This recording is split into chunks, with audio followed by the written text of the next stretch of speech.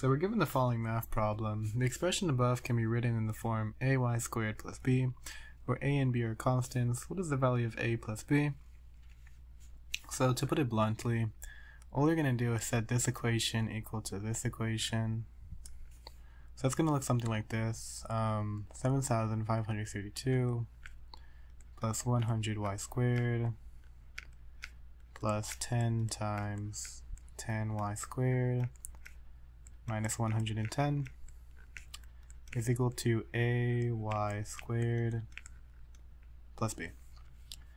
Um, distributes this equation is going to be plus 100y squared minus 1100 of course uh, 7532 and 100 and y squared is equal to ay squared plus b.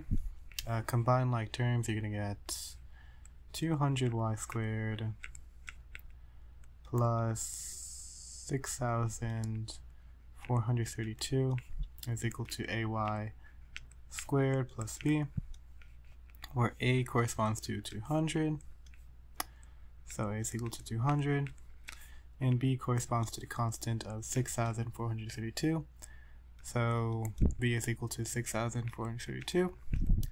So a plus b the answer of the question is going to be 200 plus 6,432, which is equal to 6,632.